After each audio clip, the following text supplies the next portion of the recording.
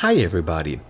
Today I will give you the tools you will need to eliminate about 99% of all the tuning issues you will ever have with your guitars.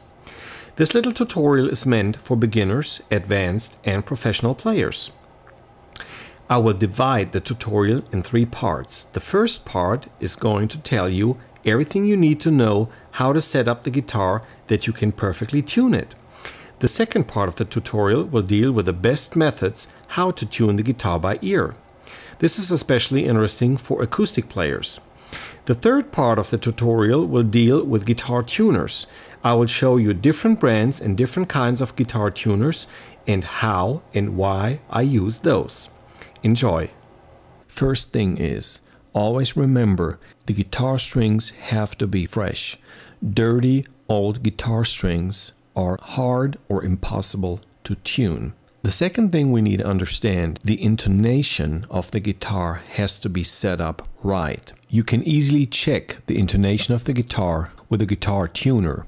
If the open string is perfectly in tune and the fretted note at the 12th fret is slightly sharp, which means too high, or is slightly flat, which means too low, then the intonation has to be adjusted.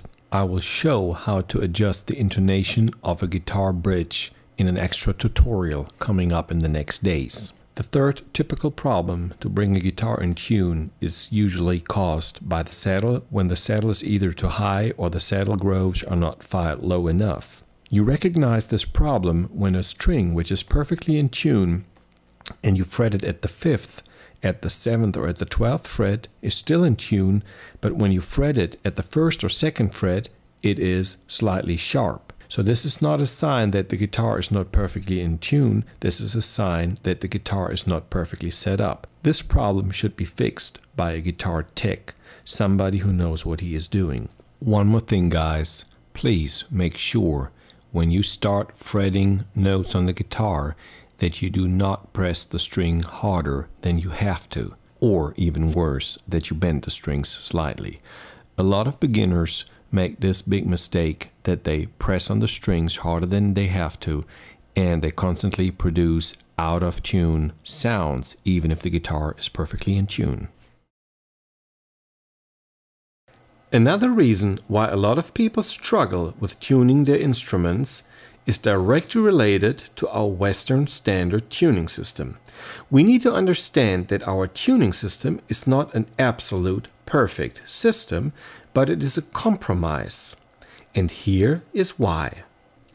Let's have a look at our Western standard 12 tone equal temperament tuning. Our Western 12 tone equal temperament tuning system is set up in a way that we create the intervals to a certain note by taking the octave and dividing the octave in 12 equal parts. If we now compare the physically correct intervals, which we would find on the guitar by just playing the overtone series on a string with our equally divided octave, we can easily see here on this chart that the octave, the perfect fourth and the perfect fifth are so close to the physically correct interval that they would not cause any audible trouble.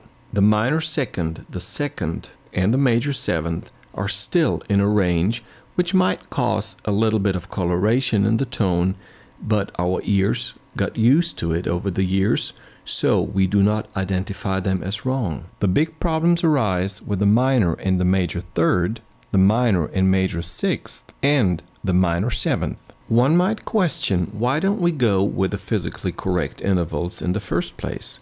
If we would create an instrument where we would find always the perfect physical intervals to a certain note, we would come up with a piano which would not have 12 keys in an octave, but 144. Of course, this would be an unplayable instrument. That's why our 12-tone equal temperament became the standard Western tuning system. Buzz Feiten found a way by shifting the saddle of the guitar just a very little bit towards the bridge to ease out the little problems we get by ear with our Western standard tuning system and it works pretty well. Here is the first method. This is probably the method everybody shows you when you pick up a guitar for the very first time. You tune the A string with the help of another instrument or with the help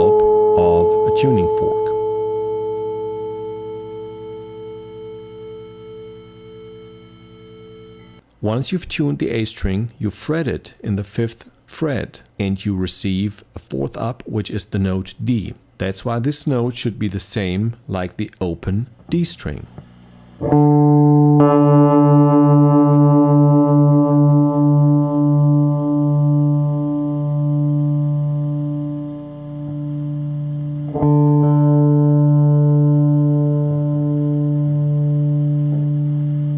Once you've tuned the D string to the A string, you continue. You fret the D string in the fifth position and you create the note G, a fourth above the D.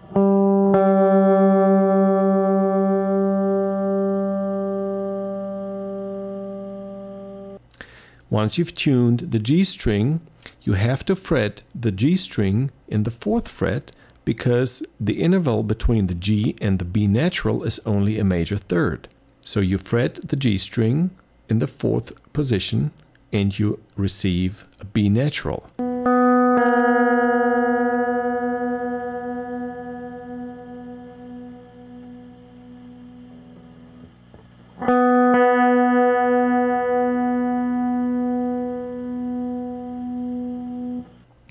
When you're done, you finally fret the B string in the fifth position again and you create an E, which should be the very same note like the open high E string.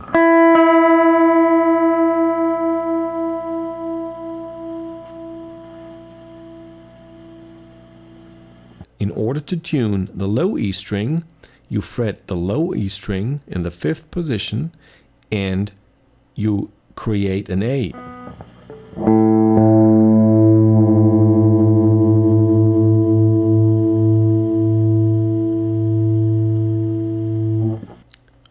finish tuning the guitar this way, we think the guitar should be perfectly in tune. But this is wrong.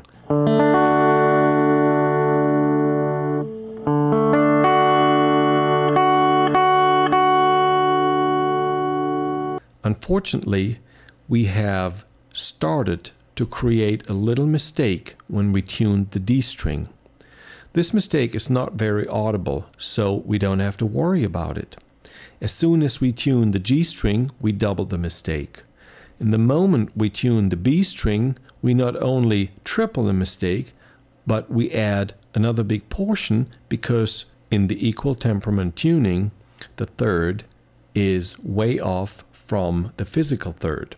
When we then tune the high E string in regard to the B string, we will add another little mistake.